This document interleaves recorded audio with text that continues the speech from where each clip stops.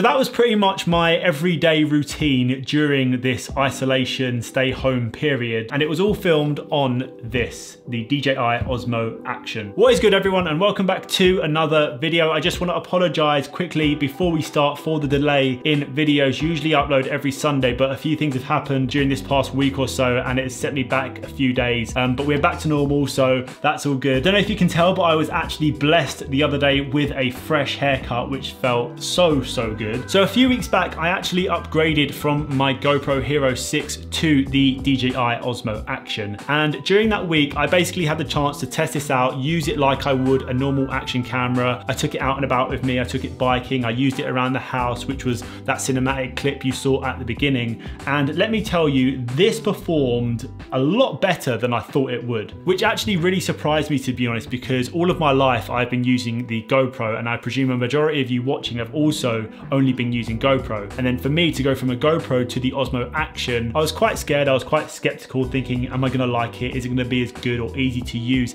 as a GoPro? But let me tell you, this is a beast. This is not a paid advertisement video or anything like that. I just thought I'd give you guys a little review about why I think this is a great little action camera, tell you guys a little bit about the features and also why I think it is worth investing in this action camera if you are gonna be using action cameras during your filmmaking or if you're a YouTuber or photographer or just wanna make cool videos, why I think this is a great, great little tool to have in your kit. So let's open up this camera and check it out.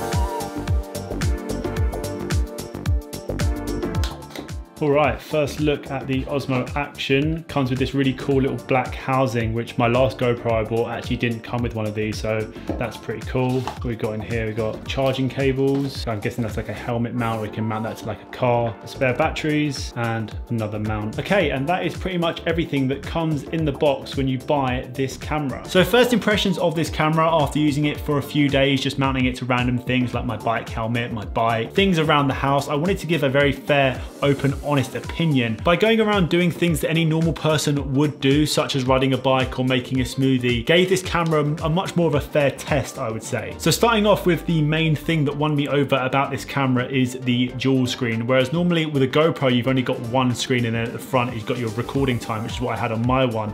But with this camera, you've actually got one big screen at the back and then you've got another screen at the front, which is amazing for framing. This front screen, in my opinion, is an absolute lifesaver. And a good example of this is when I was filming that opening sequence to this video, a lot of those angles that I filmed, I wouldn't have actually been able to see the framing of those if it wasn't for this front screen, such as when I was in the cupboard or in the dishwasher and I put it on top of the garden archways, like all of those shots, I wouldn't have actually been able to see the framing of those if it wasn't for this front screen because usually with a GoPro, I don't have a front screen, so I would have just had to estimate what it looked like and just hope for the best and had to keep retaking it. Whereas this, I didn't have to do that once and I could literally see the framing and then get the shot and then that's it. I didn't have to like play around with the framing loads of times because I didn't know what it looked like, especially having to look back at a GoPro and kind of having to like, you know, put your head around and trying to see it. It's just a nightmare. So in my opinion, this won me over basically. To switch screens is super simple. All you do is double tap on the back and it basically swaps it over to the front. And even from the front screen, you can still see your battery life. You can still see what settings you're recording in, your frame rate, things like that, which is just an absolute joy. And I do not have a clue how it's never been done before. Another thing that absolutely won me over for this camera is the new stabilization mode that DJI have included in this, which is called Rock Steady. I did do a little bit of research as to what the best settings were to use when actually using the Rock Steady feature in this camera, and it did say to use it at 2.7K at 30 FPS. So I did a little bit of a test when I went up mountain biking and I basically put the Osmo Action on my chest and I went down this run and I did the same run twice, one when I used the Rock Steady feature and one where I didn't use the Rock Steady feature. So I'm gonna show you that right now.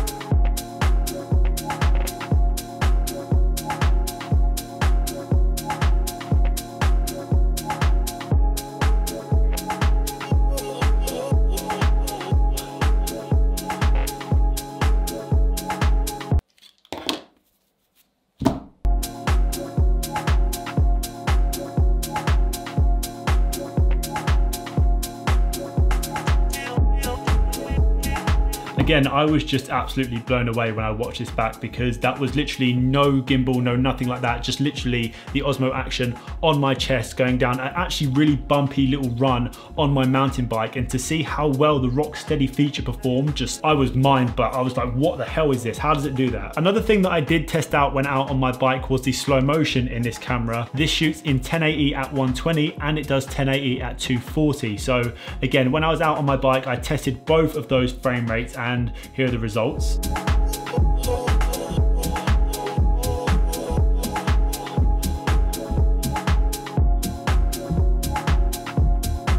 Let's talk about sharpness. How sharp is the image straight out of this camera? No adjustments or anything like that. I just filmed some very, very raw footage of my bike, of the dirt, just to get an idea about how sharp of a camera this actually is. Again, really super boring footage, nothing too special, but when I actually watched this back in my computer, I was really, really impressed by the amount of detail that this little camera picked up. And also sound, how well does this sound? Can you vlog with this? But I did another test when I was out on my bike just to see how it sounded straight out the camera again, no audio audio adjustments made to this whatsoever, just simply me in the park. There was a bit of background noise, but I just wanted to give a little test to see how well this sounded. What is good people and welcome back to another brand new video. I'm currently in the middle of a mountain bike excursion. I'm sweating, it's super hot right now, but just testing out the audio on the DJI Osmo Action. I have a little housing around it and a clamp, but got no microphone attached, got about a foot away from my face, so hopefully it sounds good. The battery life on the Osmo Action, if you're recording in 4K 60 or 4K 30 with Rocksteady on, will last around 65 minutes. Whereas if you're recording in 1080p with no rock steady stabilization whatsoever, you're looking about 130, 140 minutes of constant recording, which is still pretty good, but I would recommend maybe getting a spare battery just in case if you're doing a lot of filming with the action camera on that particular day, maybe taking a spare battery with you will be a lot more helpful than just taking one. Another really cool thing about this camera is that it did come with two different mounts. It came with like a concave mount, which you could probably fix to like a helmet or something, and it came with a flat mount. But if you had a GoPro in the past, like I did, and I had a bunch of different GoPro accessories, you can actually use those